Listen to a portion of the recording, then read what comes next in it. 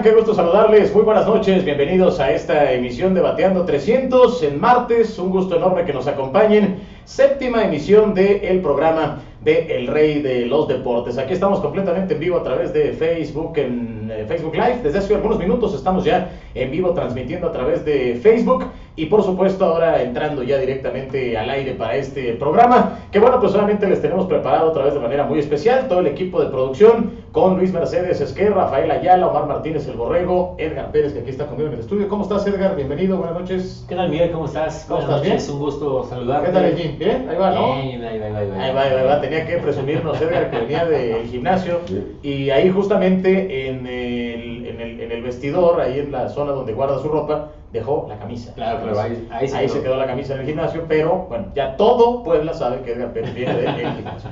Del gimnasio, muy bien. Bueno, bienvenido Edgar, tenemos un programa muy completo, los invitamos a que se comuniquen con nosotros, Bateando 300 está arrancando, nuestro idioma es béisbol. Y bueno, hoy vamos a platicar de varios temas, varios, varios temas muy interesantes. Quisiera empezar por una felicitación a Ricky Rodríguez y a Jesús Arredondo. Ya son temas que tocamos en emisiones anteriores, pero bueno, hoy finalmente se confirma, Edgar, la nominación de Ricky Rodríguez como novato del año de la Liga Mexicana de Béisbol y de Chuyito de Jesús Arredondo como el retorno del año. Así que los Pericos, además del subcampeonato de la Liga, del bicampeonato de la zona sur, ahora obtienen dos nombramientos especiales. Y muy justos, Miguel.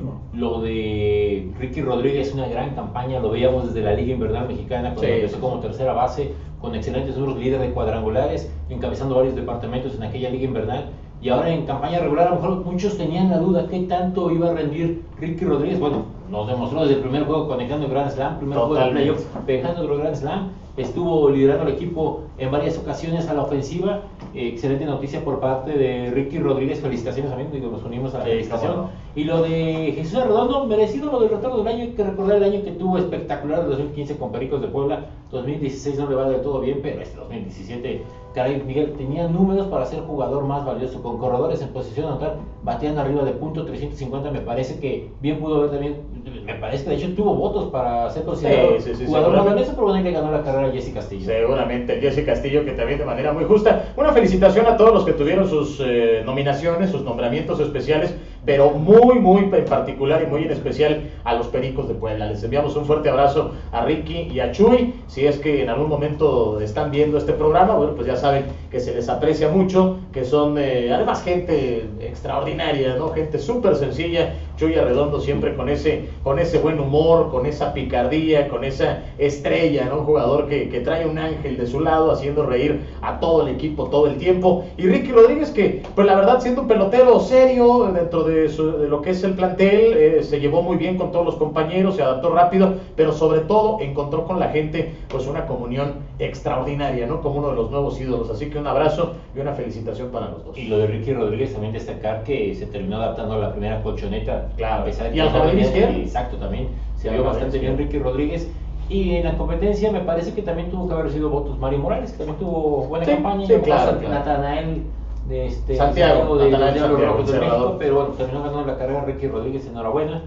Y qué bueno, insisto, lo de, pero me parece que por ahí Chuy Arredondo también pudo haberse considerado para jugador más valioso de la Seguramente lo 17. consideraron, pero los números de Jesse fueron superiores, además de que Aguascalientes terminó entrando a la postemporada. Bueno, tema que tocamos de, de- de pasada, también muy de pasada, antes de saludar a nuestros patrocinadores, una muy mala noticia, la muerte de Armando Agujita Sánchez, eh, este pelotero que fue parte de los Diablos Rojos del México durante 13 temporadas en la Liga Mexicana de Béisbol, está en el top 10 de la mayoría de los departamentos ofensivos de los Diablos, exceptuando cuadrangulares en hits, en bases por bolas, en carreras anotadas. Eh, obviamente fue parte del campeonato del 85, 87 y 88 que ganaron los Diablos con Cananea Reyes. Él debutó en el 81, llegó a la Liga Mexicana justo en el, transfer de lo de la huelga, la nave, todo esto. Fue que llegó él a la Liga Mexicana. Fue un segunda base de extraordinarias manos, tenía un gran pivote y, manos muy rápidas para deshacerse de la pelota y un bateador, la verdad, extraordinario. Insisto, líder entre los de Diablos en el top 10 de dobles, de imparables, de anotadas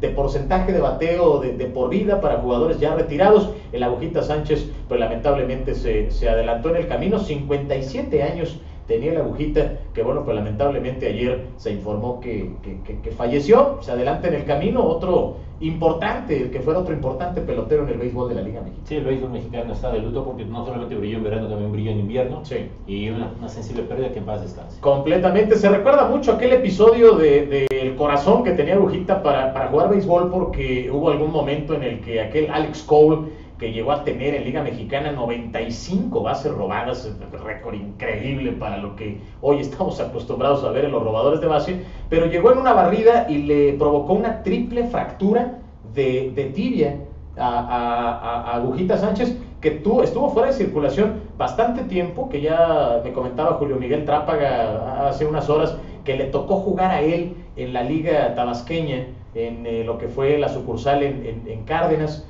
porque la agujita fue a rehabilitarse ahí, que era la sucursal de los Diablos, y ahí estaba precisamente unido Diablos, Nuevo Laredo, Trápaga pertenecía a Nuevo Laredo, y ahí fue donde le tocó jugar en algún momento al Yuyo con, eh, con Agujita Sánchez, que bueno, pues simplemente son, son recuerdos de un gran pelotero, descansa en paz, y nos unimos a la pérdida, en nombre de todo el equipo de Bateando 300, a la enorme pérdida para toda su familia, que haya una pronta, pronta resignación. Bueno, saludamos a nuestros patrocinadores aquí en Bateando 300. Recordarles que estamos regalando cortesía de nuestros amigos de Store Baseball Pericomanía Puebla un gorro beisbolero, gorro beisbolero de los tomateros de Culiacán, que para la gente que ya está siguiendo la transmisión eh, posteriormente lo podrán ver en sus pantallas. Gorrito muy bonito, color guinda, con el logotipo de los tomateros, obviamente la leyenda de tomateros de Culiacán, para ahora que va a empezar la Liga del Pacífico, y vamos a hablar de la Liga del Pacífico también, pues tenemos estos, estos premios, ya les iremos trayendo premios de diferentes equipos también de la Liga del Pacífico para que vayan armando su colección. Ahorita les vamos a decir de qué se va a tratar la dinámica. Store Baseball Pericomanía Puebla, que bueno, pues ya lo saben ustedes, está en Triunfo Maderista, esquina con Luis Moyá, en la colonia Pino Suárez, para que se den una vuelta por las tardes de 4 a 6 de la tarde, de lunes a viernes, los sábados desde las 8 de la mañana hasta morir la jornada, 5 o 6 de la tarde, para que vayan por una bonita sudadera, una chamarra, una gorra, si juegan pelota, pues un guante, algún uniforme, guanteletas, spikes, bates, el que ustedes estén buscando, hay de veras de todo, además de artículos de decoración, muy parecido a lo que tenemos aquí en el C Bateando 300 en Pericomanía, que vale mucho la pena definitivamente visitar. Saludamos también con mucho gusto a nuestro patrocinador eh, Cowell Banker Prime. Si ustedes están vendiendo, comprando o rentando casa, pues no hay mejor manera de asesorarse que Caldwell Banker Prime. Ellos son los especialistas para ubicarlos sobre qué es lo que se tiene que hacer, los trámites legales, todo lo que hay que hacer en cuanto a papeleo, cotizaciones, en fin, los pasos a seguir si es que ustedes están interesados en vender, comprar, rentar casa. Eh, Caldwell Banker Prime ya tiene sus oficinas en México, por supuesto, pero aquí en Puebla, la atención directamente para la gente de Puebla para que se asesoren con ellos y además pregunten si están interesados en alguna propiedad. Ellos les pueden ayudar también. Eh, próximamente estaremos haciendo una transmisión especial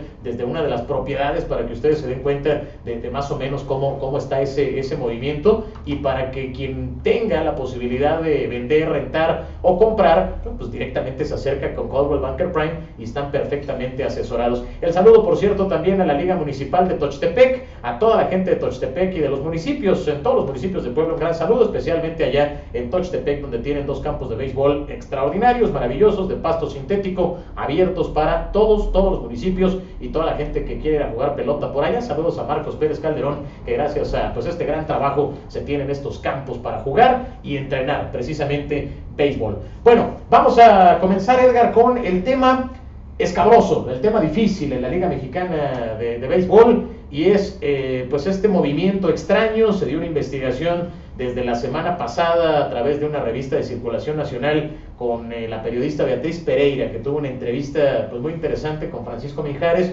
eh, actual gerente general de los Diablos Rojos del México. El tema es el siguiente, los Tigres tenían seis prospectos, se dice que tal vez sean siete, se habla de seis, que estaban buscando ir al béisbol de los Estados Unidos. Sin embargo, con la situación de los Tigres, no se sabía quién iba a ser el dueño, el equipo estaba desapareciendo. En algún momento Carlos Peralta dijo, los Tigres ya no existen, ya no van a jugar. En ese transfer, Francisco Mijares deja de ser el gerente de los Tigres porque el equipo se lo venden a Fernando Valenzuela, o al menos él es el que aparece como el dueño del equipo de Quintana Roo. Y entonces Francisco Mijares pasa a ser gerente general, ahora o presidente deportivo, lo que ustedes quieran, de los Diablos Rojos de México. Curiosamente, esos seis peloteros así nada más pasaron a formar parte de los Diablos y los Diablos los negociaron, se dice, por poco más de 7 millones de dólares a los Rangers de Texas. Es un, es un escándalo fuerte.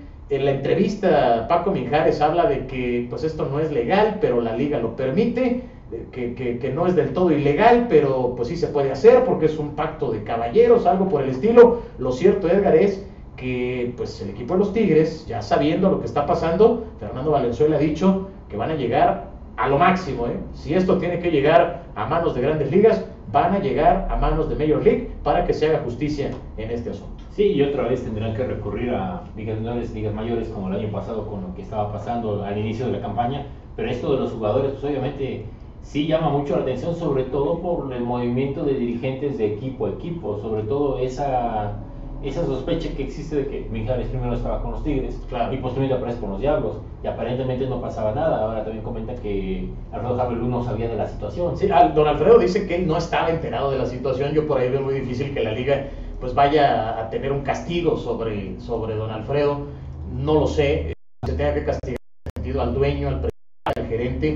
Creo que también sería justo culpar a, a, Minjares de lo que está pasando o, ponerle la única culpa, me parece que debe haber otros involucrados en el tema. Aunque esos otros... Hay quien dice, hay quien dice que Roberto Mansur y Roberto Castellón estaban involucrados también en el, en el tema. Nosotros nos mantenemos al margen de informarles lo que está pasando. Yo no me atrevería a dar una, una opinión sobre quién es culpable, sobre quién hizo qué, cuando no conocemos el fondo del asunto. Lo único que se conoce es que en esta entrevista sí Paco dice bueno, eh, no es legal, pero la liga este, no tiene nada que ver. No estamos haciendo nada de forma ilegal, pero, pero pues es un pacto de caballeros que había entre uno y otro directivo. En fin, algo raro hay en el asunto. Y en béisbol profesional, pues no tendría por qué estar pasando de una organización a otra seis o siete peloteros para ser negociado con un equipo de grandes ligas. Otros equipos se han quejado porque precisamente estas organizaciones son las que han llevado el mando de los jugadores que llegan o son negociados a ligas mayores. Sobre todo en las dos últimas décadas, que prácticamente el jugador que llegaba a grandes ligas o venía de Tigres o venía de Diablos y ahora con esto pues otra vez empieza todo lo que se ha rumorado en los últimos años, ¿no? que exactamente salen por esos dos equipos solamente el Aberdeen para que lleguen a grandes ligas. Y pues sí, es un tema espinoso, Miguel. También igual nos reservamos mucho el, el comentario por lo mismo de que no estamos totalmente empapados, no podemos señalar a alguien cuando probablemente a lo mejor hasta Mijares tenga razón y estaba permitido. Ahora será un tema que le cae como bomba de tiempo a los nuevos dirigentes de la Liga. A Javier, concretamente, presidente de la Mexicana. Bueno, vamos a hacer nuestra primera pausa y regresamos para continuar aquí en Bateando 300, seguimos en Facebook Live. Les recordamos que estamos regalando el gorro beisbolero de los tomateros de Culiacán. Mándenos en estos momentos a nuestras redes sociales, concretamente a la, a la página de Facebook donde estamos transmitiendo o a la fanpage de Bateando 300, la siguiente respuesta a la pregunta que vamos a hacer a continuación. Los tomateros de Culiacán han sido un equipo que por tradición ha sido campeón muchas veces y ha estado representado en series del Caribe también muchas veces a nuestro país. Ahí Paquín Estrada consiguió dos campeonatos de Serie del Caribe. Nada más díganos cuáles fueron los años en los que Paquín Estrada fue campeón de Serie del Caribe con Tomateros de Culiacán. Ojo, eh, Paquín ha ganado un montón de campeonatos. No se van a confundir en qué años Paquín hizo campeones a los Tomateros de Culiacán. Esa es la pregunta. Son dos diferentes series del Caribe. Ah, poderosa tu trivia. Está brava, está buena, pero se van a acordar, se van a acordar y ya estaremos recordando algunas cosas de eso también. La primera persona que nos conteste en redes sociales se lleva el gorro beisbolero de Store Baseball Pericomanía Puebla. Vamos a la pausa, estamos bateando 300, estamos bateando 300 hoy en este martes beisbolero, nuestro idioma es béisbol. No se vayan, regresamos.